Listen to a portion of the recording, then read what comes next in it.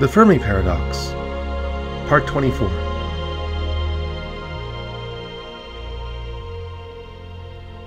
Pwning noobs at the end of time.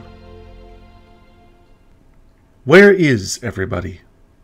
In my research for this topic, I have encountered many possible solutions to the vexing question posed by Enrico Fermi all those years ago, some more plausible than others. But not until this week have any made me double take. As regular viewers of my channel know, I prefer to research my topics fully before putting them into writing.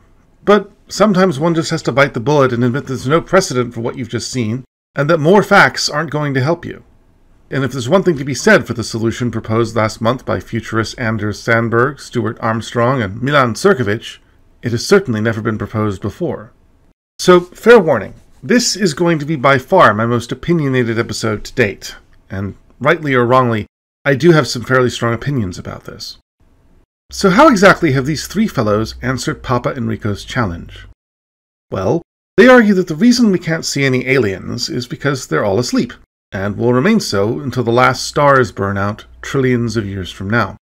Whereupon they will awake and presumably live long, fulfilling lives in the endless blackness of the eternal void. Just like me, at this point you're probably asking something along the lines of, why? Or perhaps, what? Fret not. I ask both.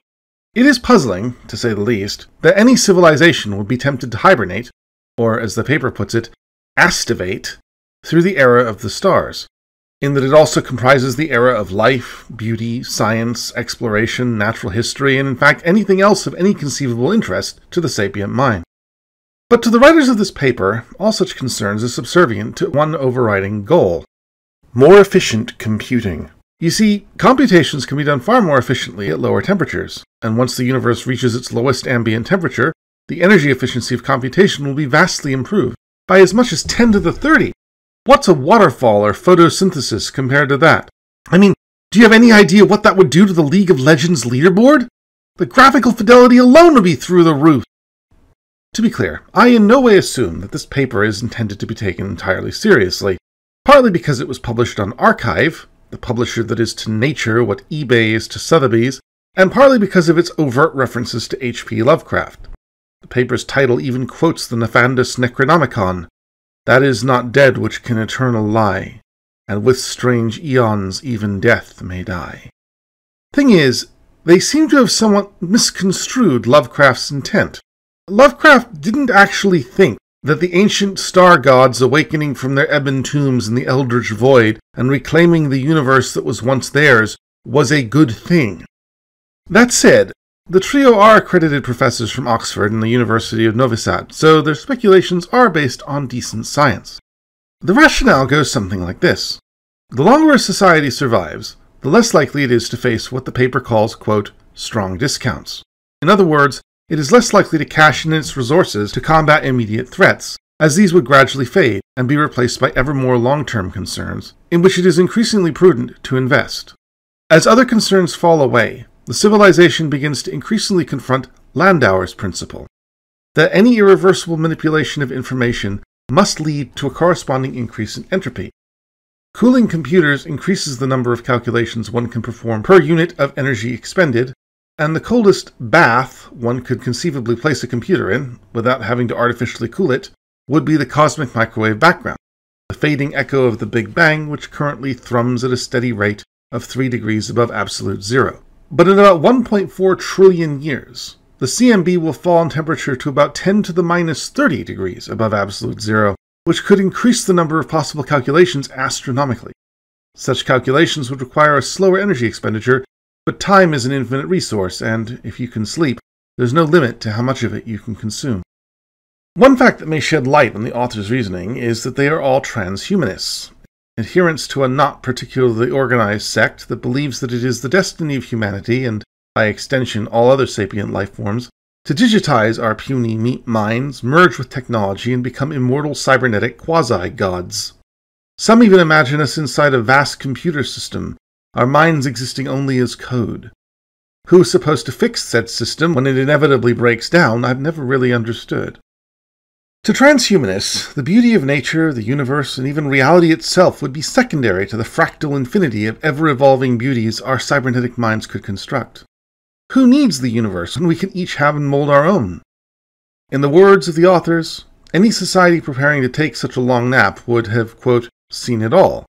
They would have explored all the possibilities the universe could ever offer, and have only universes of their own devising to look forward to. Personally, I doubt that point will ever come. If mathematics, the framework on which we build all our understanding of the universe, has already been shown to be ultimately irresolvable, as per Kurt Gödel, then why assume differently for the universe itself? I mean, yes, stars and galaxies are ultimately fairly simple constructions that, given enough time, might be completely understood, even down to the subatomic level. But what about that seemingly bottomless well of complexity? Life. Or its even more complex offshoot, culture. The beauty of culture is that by the time you've reached anything approaching a proper understanding of it, it has already moved on. The greatest gift of reality is its inability to conform to our preconceptions. Why would we, or anyone else for that matter, confine ourselves to realities constructed entirely of the already known? As precedent for their speculation, the trio cite the work of Freeman Dyson, who, in his seminal 1979 paper Time Without End Physics and Biology in an Open Universe, speculated how human consciousness could survive as the gradual unwinding of the universe removed ever more resources from our reach. As planets, stars, and galaxies slowly faded, we would have to transfer our consciousnesses to long lived, slow thinking cosmic engines that could traverse the empty cosmos, keeping the candle of intellect burning at an ever dimming glow. But Dyson saw this as a necessity, not a lifestyle option. We would only relinquish the joys of the setting sun once there were no more suns to set. One element of this hypothesis that certainly places it above many in its oeuvre is that it may be testable. Any hibernating, sorry, aestivating civilization would need some way to conserve resources through their long nap, and so they would need to engineer the materials in their vicinity to be far more energy efficient. So if we could observe, across galactic distances, stars, black holes, or cosmic winds dissipating less energy than would be expected in nature, that could be an indication of a hibernating, sorry, aestivating species. Of course, as the paper itself acknowledges, this hypothesis ultimately falls foul of the same trap that ensnares every cultural or societal answer to the Fermi paradox. Why would everybody do it? Sure, you could imagine one culture trying that route, maybe even most, but it only takes one refusenik to fill the galaxy with its noise, and said refusenik would find galactic conquest particularly easy given that all its potential competitors were asleep. The paper speculates around this by suggesting that hibernating, sorry, aestivating cultures could employ automated defenses to see off any potential raiders, though one has to ponder at the possible unintended consequences. This video has not, I fear, been the most solidly researched I have ever done, and I hope to get back on firmer ground for my next video series, which will cover topics far less airy. Assuming, of course, that another bit of news doesn't derail me again. I hope to see you very soon.